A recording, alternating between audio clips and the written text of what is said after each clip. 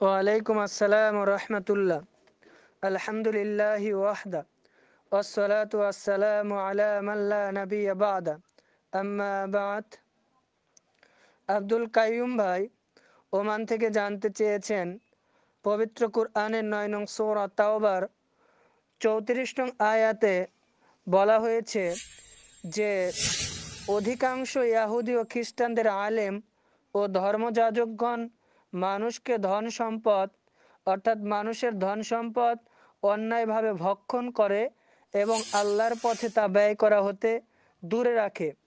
তিনি জানতে চেয়েছেন যে, তথাকথিত যে সমস্ত মৌলবী বা হুজুর রয়েছে, যারা কুলখানি, কোরআন খতম, মানুষের পূর্ববর্তী সালাতের কাজার জন্য টাকা নিয়ে যে সমস্ত সম্পদ উপার্জন করে, এগুলো বৈধ কিনা আর এই সমস্ত আলেমরা তাদের অন্তর্ভুক্ত হবে কি না? শুক্রান। জাজাকাল্লা খয়ের আইন। আব্দুল কাইম ভাইকে তার গুরুত্বপূর্ণ প্রশ্ন করার জন্য আল্লাহ রবুল্লা আলমিন সৌরা তাওবার চৌত্রিশ নং আয়তে বলছেন, ইয়া আইয়ুহাল্লাযীনা আমানু ইন্না কাসীরাম মিনাল আহবার ওয়াল রুহবান লা ইয়াকুলুনা আমওয়ালান নাস বাতিল। আন সাবিলিল্লাহ হে মুমিনগণ, অধিকাংশ ইয়াহুদি ও খ্রিস্টানদের আলেম ও ধর্মযাজকগণ মানুষের ধন সম্পদ অন্যায়রূপে ভক্ষণ করে এবং আল্লাহর পথে ব্যয় করা থেকে দূরে রাখে। তাফসিরে জাকারিয়া এবং তাফসিরে কুর্তুবিতে উক্ত আয়াতের তাফসিরে বলা হয়েছে যে, ইয়াহুদি নাসারাদের ধর্মযাজক পাদ্রীরা তৎকালীন মানুষের কাছ থেকে তারা ধন সম্পদ টাকা পয়সা নিত এবং তারা বলতো, আমাদের দাও, এগুলো আল্লাহর পথে ব্যয় করা হবে। অথচ তারা সেই টাকাগুলো, ধন সম্পদগুলো কুক্ষিগত করে রাখত, নিজেদের প্রয়োজনে ব্যবহার করত।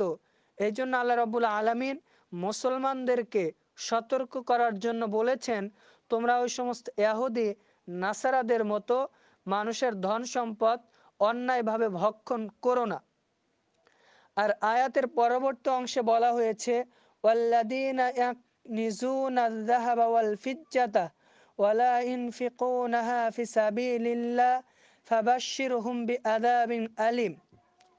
যারা স্বর্ণ রৌপ্য জমা করে রাখে, আল্লাহর পথে ব্যয় করে না হেনবি তুমি তাদেরকে যন্ত্রণাদায়ক শাস্তির সুসংবাদ শুনিয়ে দাও।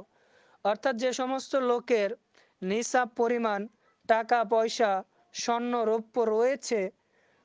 এরপরেও তারা সেই টাকা থেকে স্বর্ণ রৌপ্য থেকে জাকাত আদায় করে না বা ওসর দেয় না।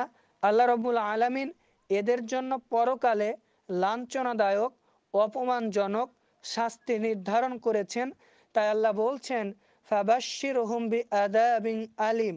তাদেরকে তোমরা যন্ত্রণাদায়ক শাস্তির সুসংবাদ জানিয়ে দিও, দাও। অর্থাৎ আল্লাহ এখানে শাস্তির প্রখরতা বোঝানোর জন্য, এখানে আল্লাহ তাদের হেয় প্রতিপন্ন করার জন্য সুসংবাদ বলেছেন। আর ভাইজান জানতে চেয়েছেন যে, তথাকথিত এই সমস্ত বিদাতি আলেমরা এদের অন্তর্ভুক্ত হবে কি না? অবশ্যই যে সমস্ত আলেম বা যারা ধর্মকে স্বল্প মূল্যে ব্যয় করে, বিক্রি করে, নিজেদের সুবিধার জন্য বা নিজেদের স্বার্থের জন্য এরাও তাদের মধ্যে অন্তর্ভুক্ত হবে। এছাড়া কোরআন খতম, কুলখানি, মানুষের সালাতের পূর্বের কাজার জন্য টাকা নেওয়া, মানুষ মারা গেলে প্রথম দিন, তৃতীয় দিন, সপ্তম দিন, চল্লিশ দিন যে চেহলাম, চল্লিশা ইত্যাদি করা হয়, এগুলো স্পষ্ট বিদাত এগুলোর সাথে ইসলামের কোনো সামঞ্জস্যতা নেই। অবশ্যই এগুলো থেকে দূরে থাকতে হবে। আর আল্লাহ রসুল সাল্লাম এই সমস্ত ভ্রান্ত আলেমদেরকে সতর্ক, সাবধান থাকতে বলেছেন। আল্লাহ রসুল সাল্লাম ইবনে মাজার তিন হাজার নয়শত বাহান্ন নং হাদিসে বলছেন যে, ওয়া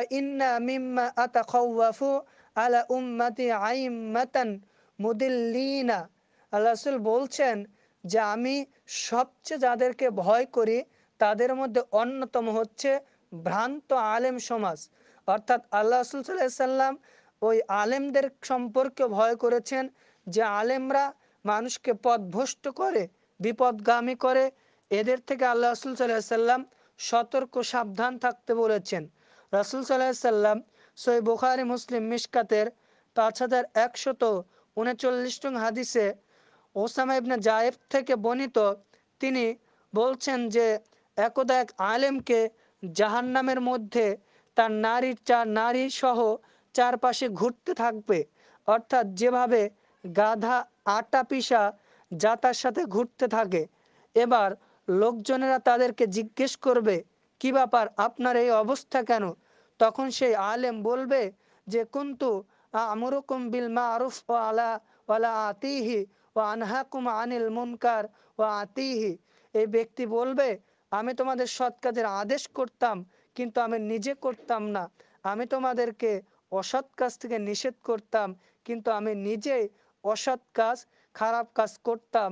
এই জন্য আমাকে এই ধরনের শাস্তি দেওয়া হয়েছে। অর্থাৎ তথাকথিত আলেম যারা ধর্মের লেবাস ধারণ করবে, করে মানুষকে ইসলামের কথা বলার নাম দিয়ে কোরআন, হাদিসের অপব্যাখ্যা করে মানুষকে পথভ্রষ্ট, বিপদগামী করার চেষ্টা করবে এরা হচ্ছে জাহান্নামি। আর আল্লাহ সাল্লাম এদের সম্পর্কে আমাদের ভবিষ্যৎবাণী দিয়েছেন, সতর্ক থাকতে বলেছেন।